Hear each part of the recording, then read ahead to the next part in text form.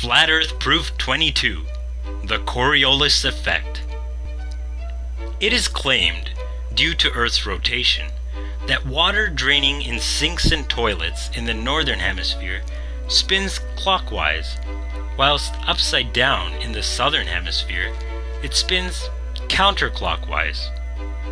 There are also claims that snipers and ballistic calculations have to establish a control when this is clearly not the case. Just as with Foucault's pendulum, while they blatantly claim it rotates with Earth's alleged spin, in reality spins in either direction without discrimination, neither do sinks nor toilets drain consistently as claimed by the so-called Coriolis effect, with many sinks having been found to drain both ways, simply depending on the shape of the basin and the angle of the water's entry, not from the alleged rotation of the Earth.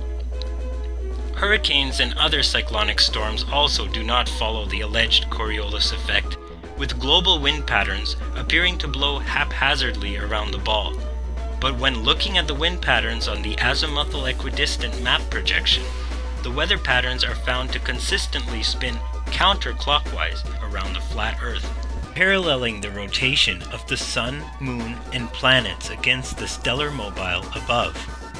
The only ready explanation for this link between these two seemingly unrelated phenomena is in the ancient philosophical concept that the universe is manifest within an ocean of ether and everything is interconnected.